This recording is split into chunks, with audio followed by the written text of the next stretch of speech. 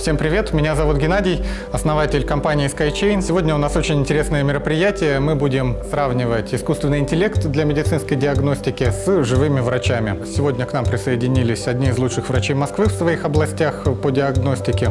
И, соответственно, искусственный интеллект на основании нашей платформы SkyChain, обученный на большом количестве данных, будет также производить аналогичную диагностику. Здесь мы будем видеть результаты, количество ложноположительных, ложноотрицательных э, результатов по каждому анализу. И э, посмотрим, что у нас получится.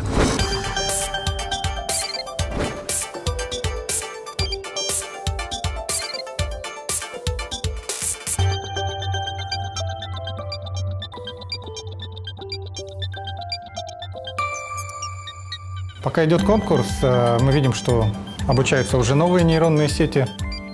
И достаточно скоро у нас уже будут дополнительные модули для диагностики.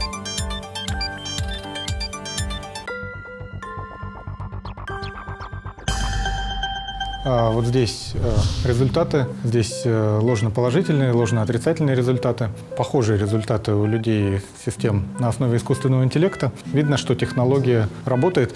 Большое спасибо за участие. Хотелось бы вот в двух словах ваше мнение услышать, насколько полезно, имеет ли потенциал. А, на мой взгляд, потенциал имеет, а как минимум вот э, подобные исследования, особенно а, с участием да, искусственного интеллекта, это как минимум вспомогательное обеспечение. Скорее всего, при достаточном со временем развития это ну, и большее применение. В чем возможная помощь человеку, вот если там вот как, как врачу?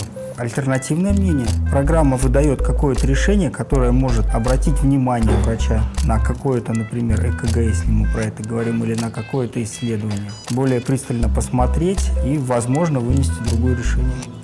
Прежде всего хочу сказать вам спасибо за проведенную вами работу, за конкурс. А ваши разработки очень актуальны. Они прежде всего будут полезны для скринингового исследования. Особенно в день проведения Дня меланомы, когда обследуют очень большие контингенты. Компьютер с помощью нейронных сетей в доли секунды определяет патологию в отличие от врача-специалиста. В чем недоработки могут быть быть системы. Прежде всего в сомнительных случаях, когда диагноз можно трактовать двояко. При этом я бы посоветовал использовать дополнительные данные в виде анамнеза, жалоб и динамики заболевания.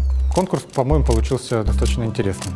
Как мы видим, что модель была обучена хорошо, были использованы довольно весомые датасеты, это несколько тысяч фотографий под каждую патологию. В целом виден хороший результат. В пользу врачей могу сказать, что не все так просто, и надо понимать, что пока искусственный интеллект определяет патологии на идеализированных условиях. Возможно, в будущем врачи получат прекрасный инструмент, который позволит им значительно меньше ошибаться. Также, наверное, добавлю, что не стоит никому бояться, нейросети не лишат э, людей работы в этой области, так так как, во-первых, э, нельзя доверять компьютеру финальную постановку диагноза, а во-вторых, как я говорил, не все так просто, поэтому э, надеемся, что как раз совместные усилия позволят помочь значительно большему количеству людей.